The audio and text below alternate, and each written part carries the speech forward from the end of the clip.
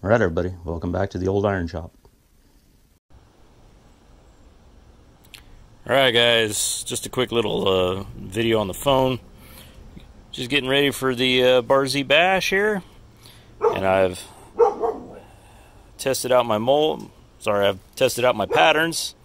You can see that uh, seems like the patterns are working good. Everything seems fine up here. I think we're good to go. So I need to knock this sand back out of these molds and pack everything up. I got about four buckets of sand I'm going to have to haul. All this stuff. A bunch of stuff over here. Bazillion pounds of aluminum. And I'm going to have to break this whole molding bench down so I can fit it all into a Honda. Anyway, see you guys uh, when hell freezes over.